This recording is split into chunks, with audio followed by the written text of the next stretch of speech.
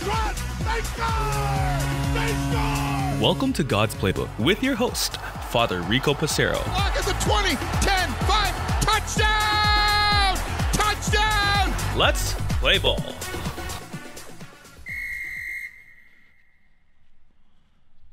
God made them male and female. For this reason, a man shall leave his father and mother and be joined to his wife, and the two shall become one flesh. Welcome back to God's Playbook, friends. Today we're going to talk about the sacrament of marriage or holy matrimony. This sacrament is one of the two sacraments of vocation. This, along with holy orders, helps us to identify the grace that we need to live the sacrament of vocation. In this case, the sacrament shared between a husband and wife, a man and a woman, as God joins two hearts in one, as an expression and sign of God's love found to us in married life. Matrimony reflects Jesus' paschal mystery and the love of the Trinity. Married love is to be self giving, forgiving, faithful, intimate, and creative. The Catholic concept of Christian marriage involves much more than just holding a wedding ceremony in a church. What makes a marriage Christian isn't a church blessing added to a legal contract. Christian marriage is a relationship of life giving love in which a man and woman make the love of Christ present to each other and become a sign of the love of Christ to those around them. Through their love and faithfulness, they are called to help each other to grow and live in holiness. Jesus gave us the sacraments in the church so that we can continue to feel his loving touch in our daily lives. In marriage, the relationship of the couple is the sacrament that reveals the love of God for all of us. The church didn't invent marriage. At first, there wasn't even a special Christian form of marriage. Through Jesus' teachings, the faithful realized that marriage should be appreciated as a sacred vocation. The church continues to praise the goodness of family life. The family is at the very core of our society. And the church continues to teach that married love is a sharing in God's love. Catholics are meant to see marriage as a sacred covenant a way of joining the shared lives of a couple with God. It's a way of living that adds richness and value to married lives and serves as a witness of God's love in the world. We understand that the true nature of married love only when we realize that it comes from God. God, who is the source of all love. Catholics believe that a marriage between two baptized Christians is sacramental, a sign of Christ. In the rite of marriage, the Church recognizes the exchange of consent between the spouses to be an indispensable element that makes the marriage. The partners mutually give themselves to each other. I take you to be my husband or wife. This consent binds the spouses to each other and helps to find its fulfillment in the two becoming one flesh. This consent must be freely given. And so, this is one of the elements of the sacramental nature of holy matrimony. It must be freely given. Nobody's forcing the man to marry this woman. Nobody's forcing this woman to marry this man. This is of their own free will. The couple exchange rings as a sign of their love and fidelity to each other, and as a reminder of God's never ending love and faithfulness. Notice the shape of a ring, a circle. God's love has no beginning and no end, it is infinite. A married couple is invited to express that love for each other every single time they look at that ring, as a reminder, whether they are in the same room as their spouse or not, of the important nature of the sacrament a call to love. A married couple that makes Christ present to each other is a couple that has truly entered into the sacrament of God's love. The ministers of the sacrament and of holy matrimony are not the priest, the deacon, or the bishop. Rather, it's the husband and wife themselves. In 1 John chapter 4 verse 16, we hear, "We have come to know and to believe in the love that God has for us." God is love, and whoever remains in love remains in God, and God in them. The second element that makes a marriage holy is that it is meant to be lifelong. The church sees sacraments as being lifelong. They are not meant for a period of time and then to be forgotten or shelved, so to speak. So, in death do us part is something that is so important for couples to realize that this commitment they make to each other in good times and in bad, in sickness and in health, they commit each other to love and honor each other all the days of my life. And as church, we pray that God will bless this couple with many years of health and happiness together before one or both may be called home to the eternal banquet first prepared in the Father's house. This is important for us to understand that marriage is a covenantal bond, a sacred bond between God, the one who is the groom, and the one who is the bride.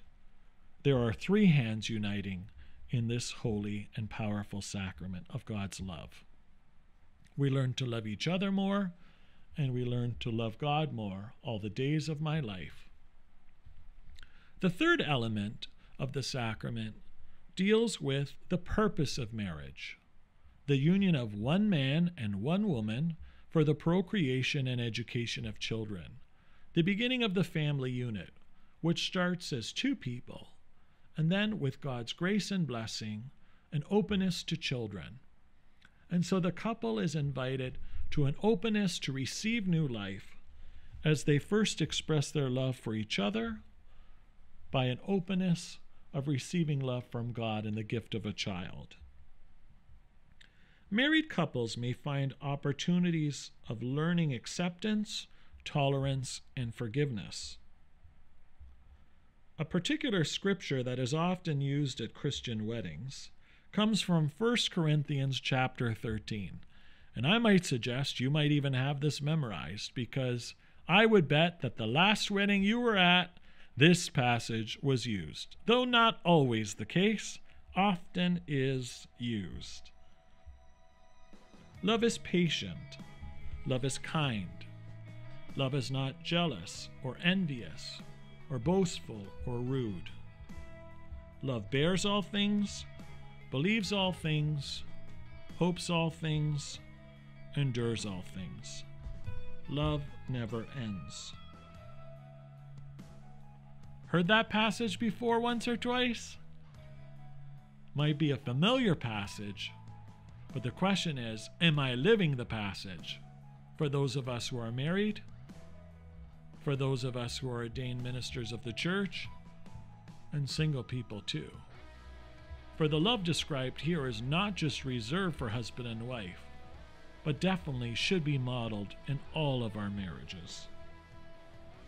We find additional definitions of love throughout the scriptures as God reveals his love for us. God is love is something that we hear over and over and so, if God is love, then we are called in our encounter with one another to also show our love for God by what we say and do for one another. And so, in marriage, the spouses are willing and desiring to express their love for each other in many different ways. Founded on God's giving of Himself, married love is based on giving. Total loving means total giving of oneself freely and wholeheartedly. Married love is a choice to love our spouse unconditionally, above all other people, and requires sacrifice for the good of the other. In choosing to love, I must make a decision to give without resentment, to forgive completely, and to put the other's needs before that of my own. Two people joined in marriage become one as they share their unique gifts for the sake of the other. Love is forgiving. God's mercy and forgiveness is reflected in the way a couple reconciles differences, forgives hurts, and heals each other. A willingness to reconcile again and again is an example of the desire for reconciliation that God has for us. How beautiful it is for one spouse to hear the other say, I'm sorry. I love you. I forgive you. Let's move on together. That's what true love is forgiving. How many times are we called to forgive our spouse, to love our spouse? When has my willingness to forgive or ask for forgiveness strengthened my relationship with my spouse? Have I witnessed or shared self giving love in my marriage lately? Love is meant to be faithful. A couple promises on their wedding day to love and honor each other as husband and wife all the days of their lives. This promise isn't just for the day or for the honeymoon or for the first year of their marriage. It shouldn't go through a season in life. It's a lifelong commitment that never ends. God's faithfulness to us is evident in the commitment a couple makes to each other to live for their lifetime. It means affirmation instead of criticism, openness instead of dismissiveness, communication instead of the silent treatment, collaboration instead of demands. Modeled on God's faithfulness, married life accepts, affirms, looks for the good, and encourages personal growth. Married couples need to model faithful love. Am I currently modeling love in my marriage? How might I further affirm and thank my spouse for all that he or she does for me?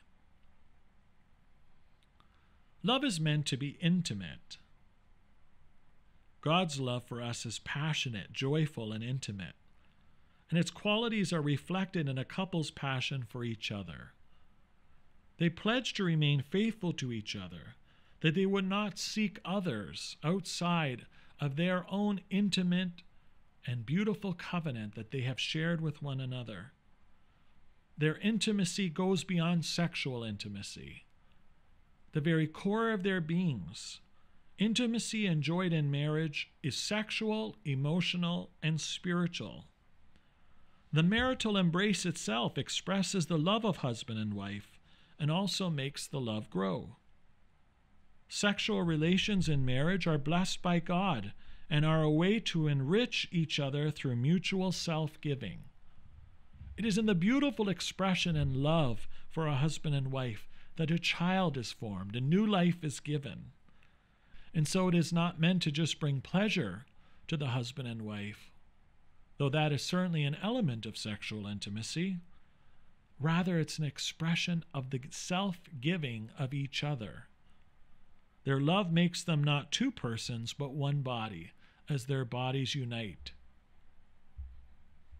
But love that is intimate also speaks of my deep desire to please you, to look after your needs, to care for you above all others.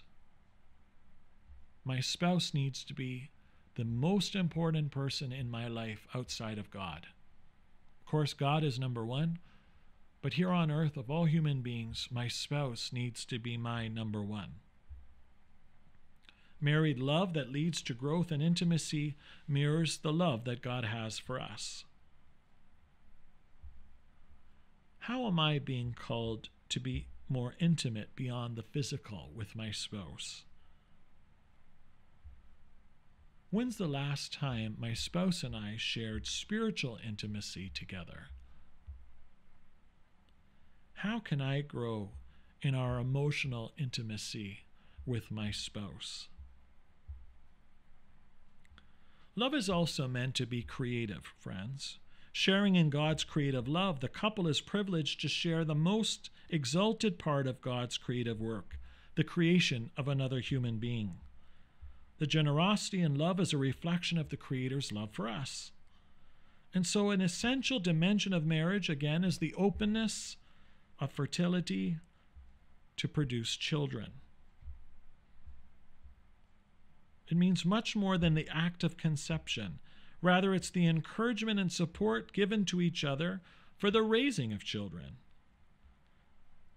Catholic couples must be willing to bring life through each other and mutually share in the work of nurturing that life to adulthood. We hear in the Catechism the fruitfulness of marriage isn't limited to children. If a couple is unable to have children, their marriage can still radiate a fruitfulness of charity, of hospitality, and of sacrifice. The sexual difference and complementarity of man and woman are part of God's design. Based on the understanding of God's design and will, the Catholic Church teaches that marriage is to be between one woman and one man. How can I further participate in the building of God's kingdom?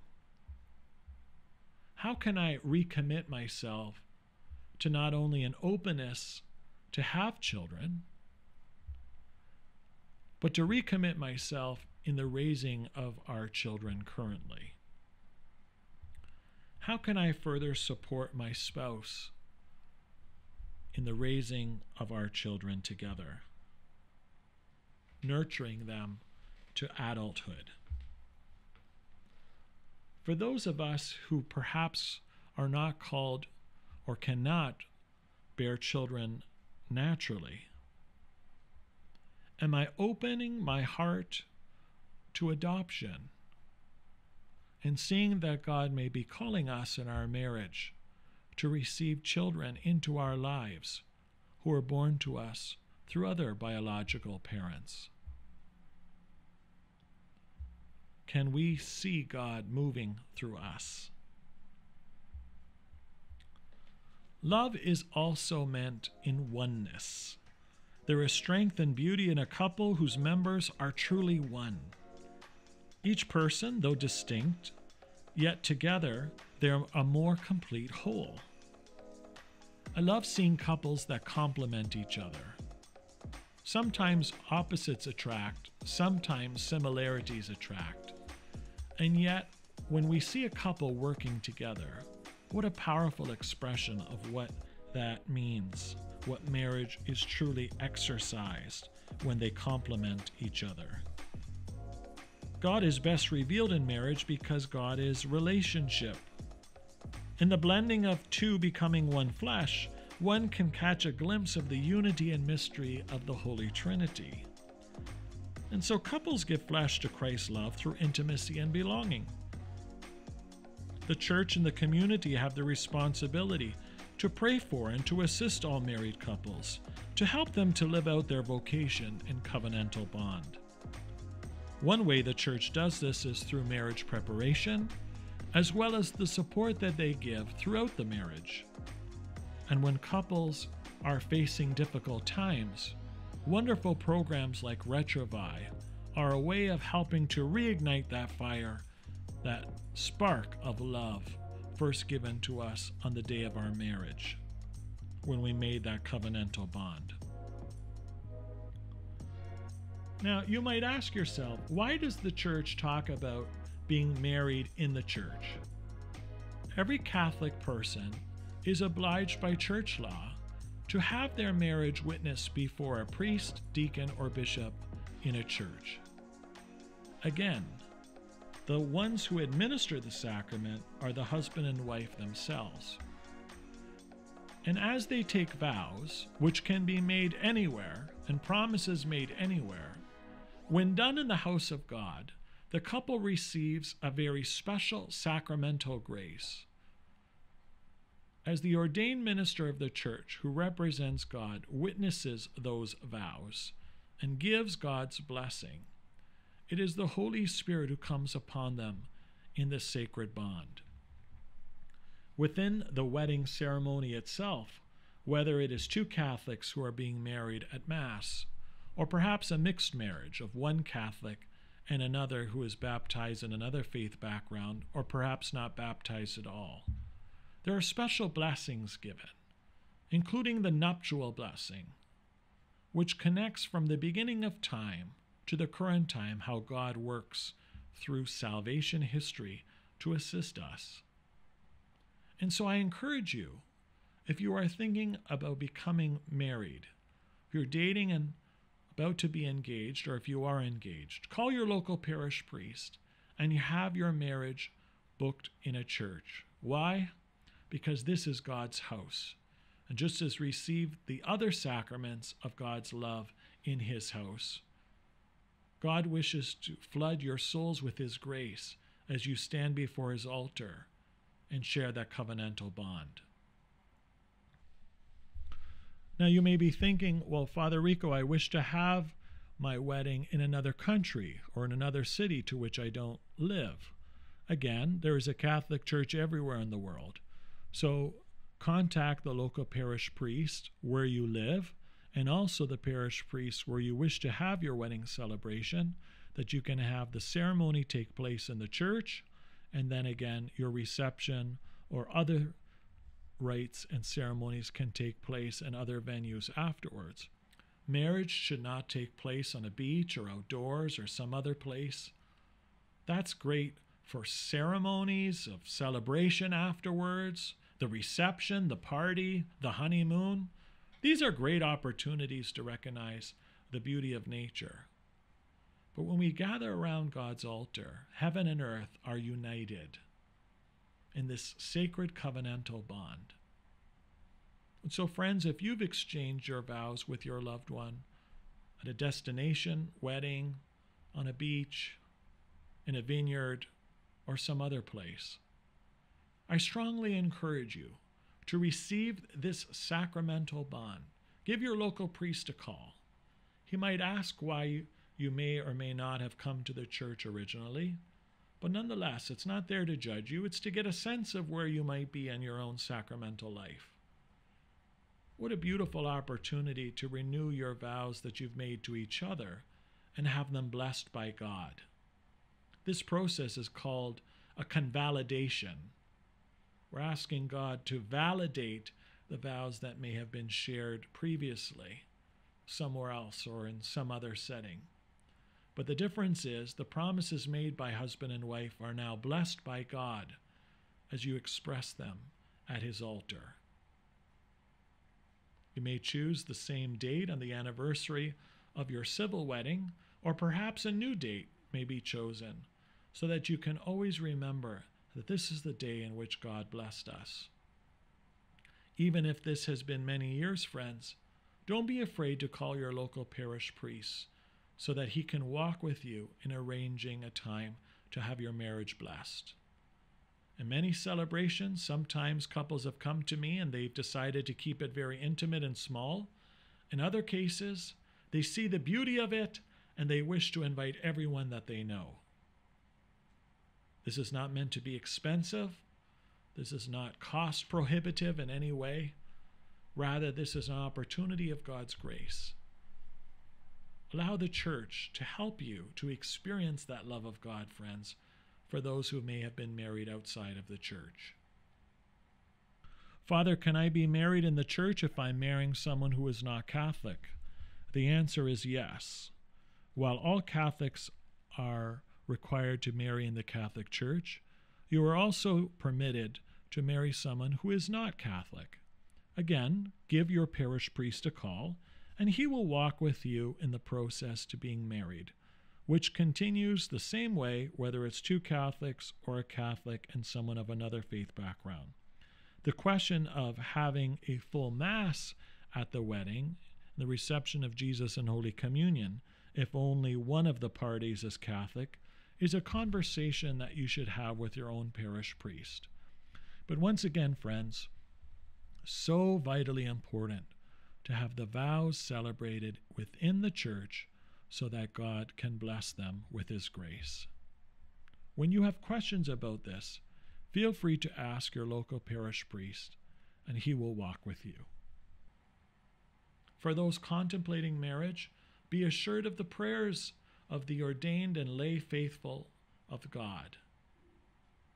We know that at times marriage statistics might be scary. 50% divorce rate in this country may deter those from entering into this covenantal bond.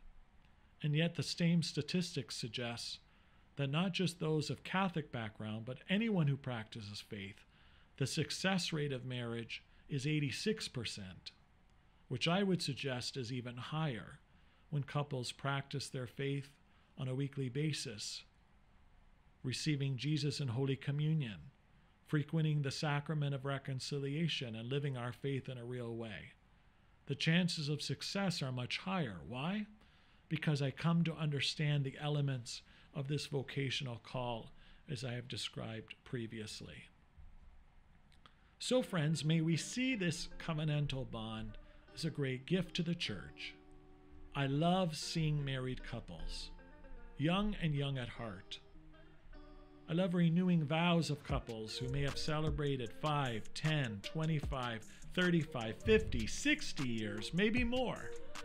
This beautiful expression of the covenantal bond found between husband and wife, that commitment that is unique and special that we talk about in this sacrament. May we always pray for couples, couples that are happily married, couples that are struggling in marriage. Again, if you are currently struggling in your marriage, perhaps programs like Retrouvaille, marriage counseling, or sitting down with your parish priest are ways to not feel judged, but rather to be supported. Sometimes difficulties and trials come, and yet in the face of them, we are given perspective when we allow others to walk with us. Be assured of the prayers of the church that God may support you in your marriage, that the love you first received and celebrated on your beautiful wedding day may sustain you for many years to come. Let us pray for those who are considering marriage and those who are currently married as we pray. Loving God, we thank you for the gift of married life. We ask that you continue to bless all those who feel the call of marriage and are yet to find their life partner. Help them to look at others through the lens of Christ, that they may find their partner and turn to you in prayer to find their loved one. We pray for those who are engaged, preparing for marriage, that as they have found their life partner, they may choose to have their marriage vows blessed before you in your house in the church. Lord, bless those who are married. Sustain all marriages. May the love of husband and wife deepen and grow. May they turn to you and find strength in the grace of the sacrament that they have received to sustain them, especially when things get tough. May those who feel that their marriages are over turn to you for their strength. May they put their egos aside and never feel ashamed to come forward and ask for help. For indeed, the church is there with them. And we thank you for giving us the church to support us, to pray for us, and guide us. Lord, we thank you for the gift of married life. Bless us as we come to serve you in this great sacrament of service. For God's Playbook, I'm Father Rico. God loves you, and so do I. If you like what you hear, please consider supporting us on our Ko-Fi, ko-fi, or GoFundMe at God's Playbook Podcast. Thanks, and God bless.